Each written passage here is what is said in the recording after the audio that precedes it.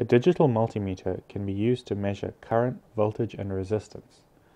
For this experiment, we will be looking at measuring the current and voltage across a light bulb connected to a direct current source.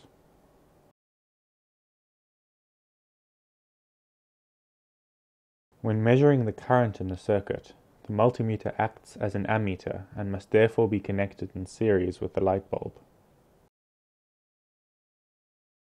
Different terminals must be used for different current ranges. If the current is in the 0.1 to 10 ampere range, a lead should be connected to the terminal labeled A. If the current is smaller than 100 milliamps, the microamp or milliamp terminal should be used. In this example, the current is in the ampere range. The other lead should be connected to the COM terminal. Switching the two leads around will result in a negative current reading. In order to read the current, the main dial must be switched to an ammeter mode. There are three modes corresponding to the ranges amps, milliamps, and microamps. In this example, we are using the amp range. It's normal for the current readings to fluctuate by about 5%.